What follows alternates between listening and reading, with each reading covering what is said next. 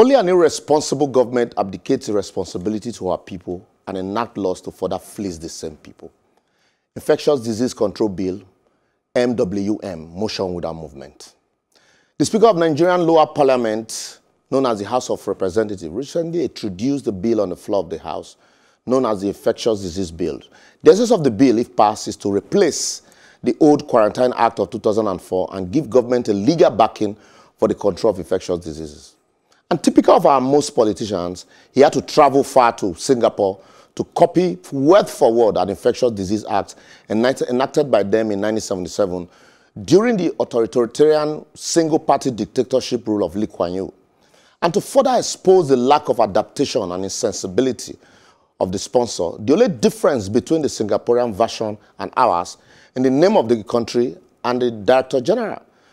Anywhere there's Singapore, a speaker simply changed into Nigeria, and where you have director, he simply added the word general. You know, we love military titles. The provision of the bill, which seems to remind one of the hate speech and social media bill, sponsored by the same house sometimes last year, aims to create a new set of rules which are not only in conflict with the provisions of the Constitution, but gives the Director General of the Center for Disease Control the powers of a policeman, a judge, and an executor as it empowers the center to arrest without warrant, declare any house an isolation center, and no liability shall lie against the DG or members of his team for any act or mission. That's section 71 of the bill. Section 58, in clear violations of the provisions of the Constitution, empowers the DG or any member of his team to arrest without warrant any person he has reason to believe has infectious disease. So if the bill is passed, all of us have to carry certificate of non-compliance or Otherwise, you can be arrested without warrant as someone with infectious disease.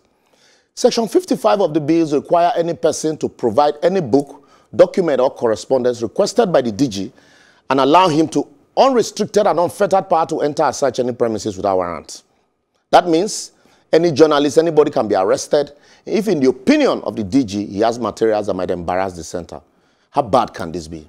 Now wait for this. Section 24 empowers a police officer to arrest without warrant and take to a place tagged isolation center by the NCDC anyone who is suffering from any infectious disease. That means if you have flu, cough, or even yawn close to any hailer, whaler, or hater, which is an infectious disease, you can be isolated, depending, of course, on the person exercising the discretion. Section 20 empowers the DG to prevent any meeting at all, including this one. If in his opinion that meeting will increase the spread of an infectious disease, I wonder how he can on face value determine who has infectious disease since it is in his opinion. With such laws, the Director General, which appears 134 times, while the word disease appeared in the Acts 124 times, according to a journalist, David Hundeyin, might even be more powerful than our president. Section 17, 17 also empowers the DG to evict residents on the basis of overcrowding, yet government does not have houses to provide to anybody. The what part of the, part of the bill is section 15, which contrary to the provisions of the Constitution on ownership of movable and immovable property, empowers the minister for the purpose of preventing the spread of infectious disease to declare any premises an isolation center, including yours and mine. And any person who lives or is suspected to have left an isolation center can be arrested without warrant. In fact, the word arrest without warrant appears 14 times in the bill. With such powers, police officers no longer need to have recourse to the Police Act, as all they need to do to it's just use the disease, uh, uh, Infectious Disease Control Act and arrest you without warrant. Boom.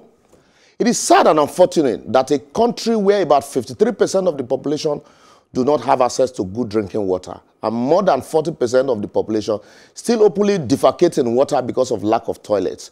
One would have expected that any infectious disease control law would first and foremost task government to provide these basic needs to their people instead of looking for opportunities to declare people's personal properties as isolation center and arresting people without warrant, all in the name of controlling infectious disease.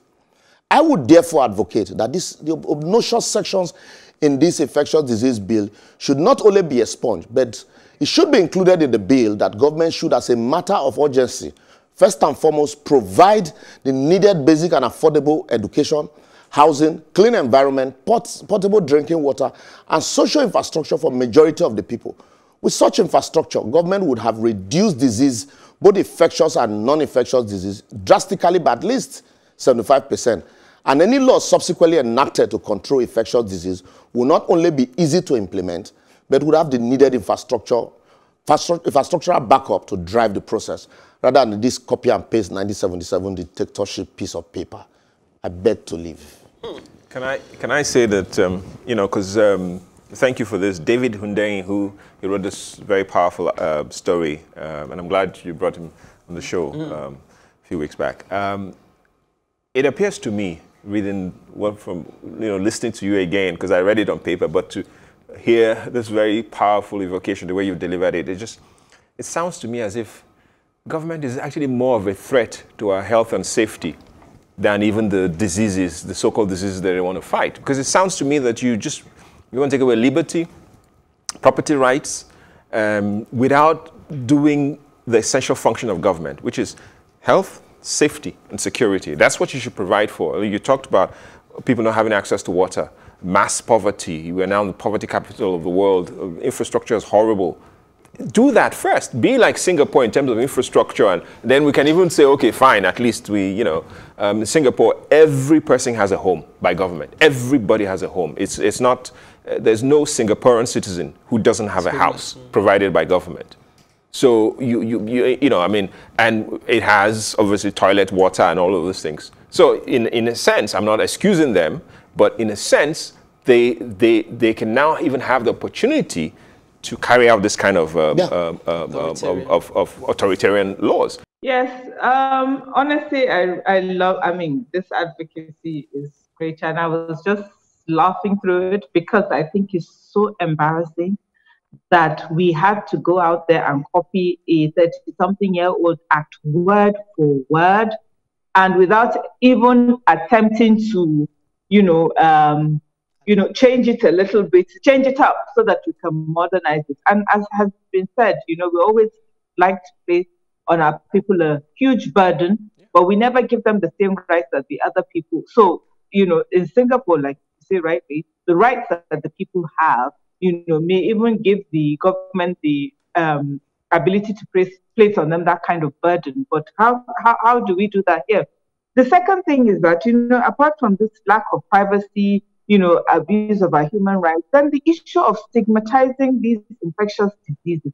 That's why we're going to see in places like um, Kano, for example, where there'll be a huge um, surge and people won't talk about it because, you know, if you have the right to arrest people and, you know, you are placing a burden of shame on the population. So even when people have these um, diseases, they're not going to come out and tell you they have it because it's like you're going to punish them for having it. So it's, um, it's really um, shining a light on us that it is not positive at all. I want to just say it speaks to motive fundamentally to me because, you know, if someone can put this thing together and nowhere in his mind does he think, oh, you know, I, I, have some responsibility to make this thing even look like I'm providing some kind of care. I don't, he doesn't seem to be, I don't know, is it that a lack of intelligence or, and then so you say, okay, maybe the man himself is trying to be devious, but then who are those around him? They too are acting like they can't interrogate this the king's thing. mentality. They're waiting the for Liborous or they're waiting for David Hundeyin. And so I'm just thinking we can't even masquerade because even the king, like you mentioned, you know, you have some authoritarian fathers and stuff, but at least they care enough to provide for their children. This one is not even He's not even masquerading. He's not even trying to pretend. He's just openly trying to frisk us. And so I'm, I'm still looking for how we can checkmate some of these, because we're dealing with the executive yet, they have their issues. But now you have the, the legislatures. How the legislature... Which is supposed to check on the executive. How can we... How can we now even acting these, worse yeah, than... Some of these acting worse than the executive. Yeah, have some of these frivolous bills, Crazy. because that's where it starts. How can we, we get jettison them or even put some kind of, uh, I don't know, charge. Uh, they must suffer some kind of, how can you come up with some of these bills? They're, they're an insult to us as a people. So I don't know how we can do it, but it's not enough to say we refuse it. We need to make sure we penalize those who raise such bills. I just don't know where to start to do that. Maybe Liborous has an answer, but Chuka. I think I'm surprised that um, it's only because we're in Nigeria. Um, Gbajabiamila would have lost, would have had to step down. Yeah after this scandal because it's a scandal and we're just talking as if it's um, something uh, you know like a naughty thing that happened uh, it's a scandal big one if um, Cummings is a scandal in England then this is an even more massive scandal in, in, in Abuja but lawyers need to get up and do more yeah I'm Yeah. sure that, that's the way I feel. Yes. Because we can only fight these things legally anyway.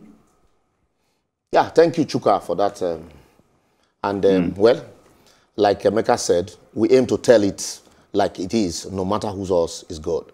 I added the second part though. Do keep your comment coming in on Facebook, Plus TV Africa, hashtag The Advocate NG, and on Twitter and Instagram at Plus TV Africa, hashtag The Advocate NG. To catch up with previous broad- broadcasts, go to plustvafrica.com forward slash The Advocate. And don't forget to subscribe to our YouTube channel, Plus TV Africa. Till next time, when we'll be doing what we do best in partnership with you, let's keep advocating for a better society. See you. Bye. Let me do like a So we newscaster. Uh-huh. Okay. Thank you. Thank, you so much. Thank you Lovely so seeing you. Bye. Five panelists, five topical issues, no holds barred. For me, it's not knowledge that's lacking. It's that greed. It's that mentality where you feel you deserve to take your own and take it infinitely and let everybody else just manage however they will manage. We're almost becoming hardwired to try and cheat. I would, you know, suggest that we begin to hold our leaders accountable. There was a time in this country when things actually work. I don't think that any organization should be above the law. And I think one of the challenges we have in this country is about governance across the board. But what I'm saying is that it doesn't really affect us in Nigeria. That's It, really it does. It does. It's the reason I- I don't know what we can do if the system is already corrupted. We've been warned as a continent of the influx of the Chinese. If you don't repay your debt, they will just colonize you.